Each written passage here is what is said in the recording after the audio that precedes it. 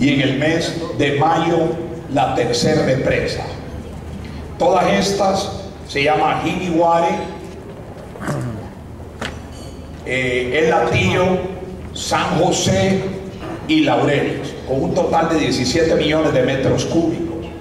Construcción a partir del primer día que se dé la orden de inicio está entre 12 meses y 24 meses.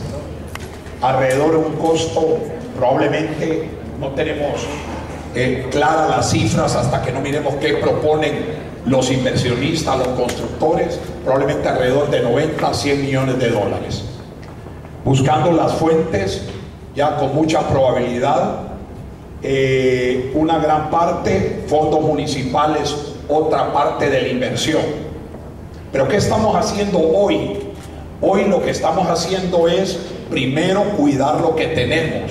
Lo que tenemos son 84 millones de metros cúbicos de agua, que es lo que producimos, de los cuales facturamos 47 millones.